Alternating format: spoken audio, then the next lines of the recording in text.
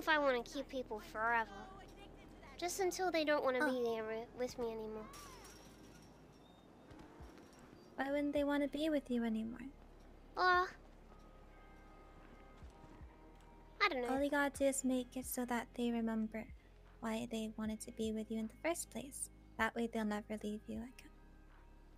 Hmm. I think that I get pretty annoying. You know, I I'm a bit of a burden. So, like, if they want to go, it's probably because I made them leave. And if I make them leave, then I probably shouldn't make them stay. Cause That, that that doesn't make sense. Nothing is ever your fault.